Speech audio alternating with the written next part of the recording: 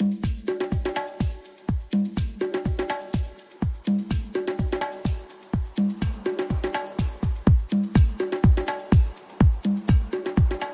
los 50 metros mariposa para hombres.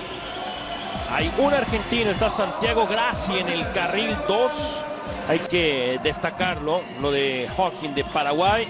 E insisto, a Santiago Graci hay que seguir en el carril 2, de arriba hacia abajo en sus pantallas. Aquí el favorito pudiera ser Charles Leclerc, que a pesar de que no tuvo el mejor tiempo, ese fue para Michael Landau de Estados Unidos. Está con 24-13 en el cuarto mejor tiempo, insisto, después de Michael Andrew.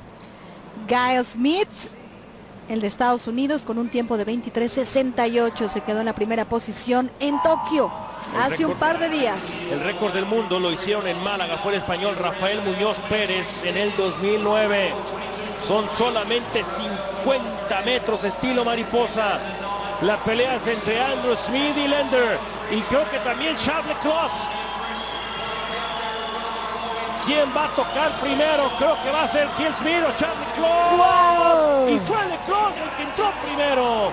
Le ganó el sudafricano a Smith y Lender. Iván Lender de Serbia se quedó en el tercero. Santiago Graci, el argentino, se quedó en el quinto con 24-03.